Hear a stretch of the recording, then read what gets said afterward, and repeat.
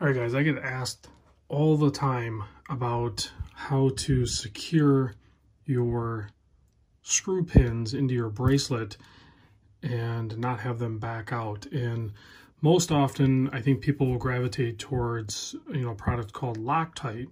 And that works sometimes, but it's messy and it's a pain in the butt and everything. So what I do with a lot of my watches in sizing the bracelets is um, I use Nature's Loctite, and that's cross threading. So, and I know a lot of people think that's, you know, bad. That's super bad, right?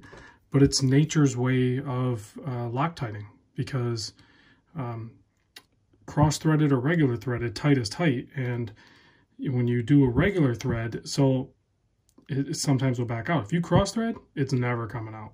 So what I do, instead of lining it up, just push it in there and then push as hard as you can on the screw driver and you'll feel it. You can tell there's all kinds of resistance and there's no way it wants to go, but you'll start cutting that new thread. And when you do that, that's your nature's Loctite. It is not coming out.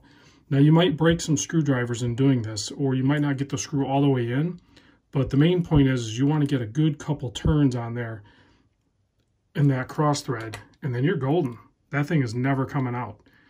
Um, so I don't know if that tip helps at all, but uh, it sure has saved me a lot of grief.